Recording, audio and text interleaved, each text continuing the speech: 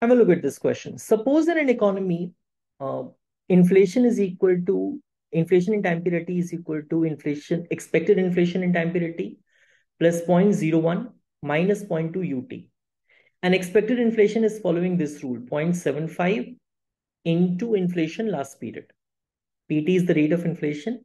PTE is the expected rate of inflation in period T and UT is the unemployment rate, right? Suppose in period one, the expectations regarding inflation are realized and the unemployment rate in the economy remains constant from period one onwards. So in period two, period three, period four, unemployment rate remains what it was in period one. What is the value of inflation rate in period three if P naught is 0.128? So we are given with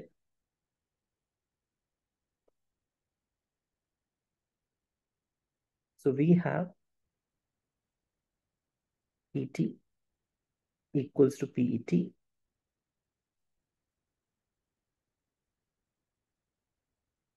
point two UT. But PET is equal to 0.75 PT minus. So PT equals to 0.75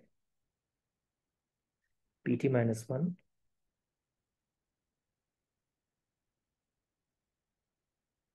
0.2 u. But expectation i mean period 1 expectations regarding inflation are realized right? So it means that p1 is equal to p1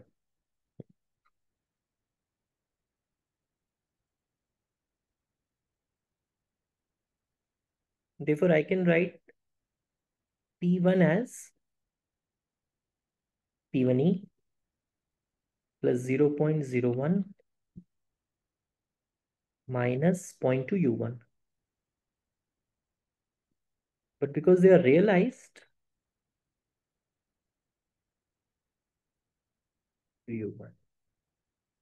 So you now calculate this U1, that will come out to be 0 0.05 right? That will come out to be 0 0.05. Fair enough. Now, but what is P1? P1 is P1E hmm. plus 0 0.01 minus 0.2 U1. In place of U1, I can write 0 0.05. In place of P1E, I can write 0 0.75 into P naught because P1 PTE is 0 0.75 PT minus 1. So P1E is 0 0.75 P naught.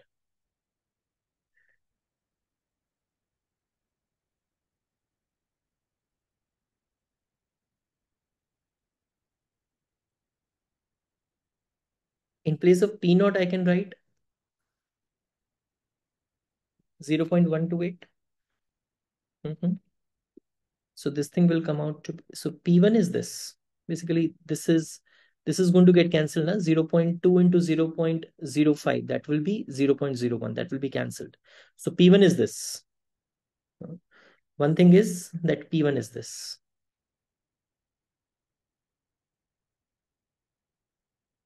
Fair enough. Okay. P2 is what, beta?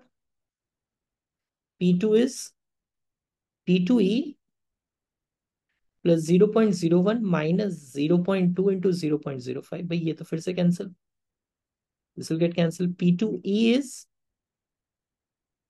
zero point seven one into P one ये तो cancel हो जाएगा ना. This thing will get so that is what zero point seven five into P one P one was what 0. 0.75 into P1. P1 was what? 0.75 into 0.128. यही तो था. So basically what you have is 0.75 square 0.18. What is P3? So P1 was 0.75, 0.128. P2 is 0.75 square 0.128. P3 would be same thing, 0.75. I mean, P3 is going to be what? Let me just write it. P3E plus 0.01 minus 0.2 into 0.05. This will cancel. What is P3E? 0.75 P2. What is P2? 0.75 square, 0.128. So what is P3? 0.75 cube, uh, 0.128. Huh? Like this. So P3 is this. Hmm. P3 is this. So what is the value of inflation in time period 3? P3 is uh, 0.75 cube into 0.128, right? So what is going to be PT? You can generalize this. That will be 0.5 to the power T 0.128. So as t tends to infinity,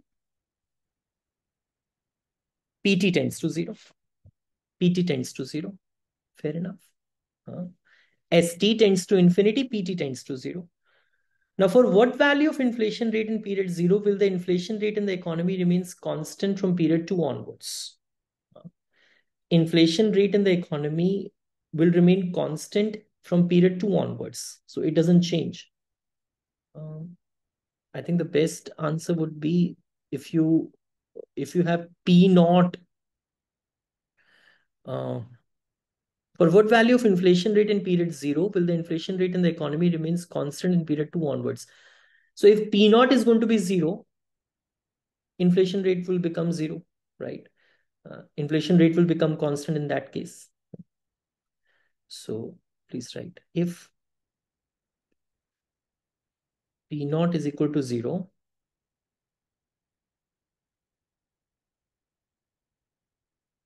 then it will remain constant.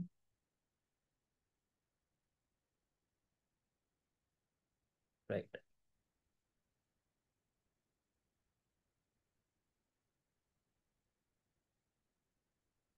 Inflation rate will remain constant in that case.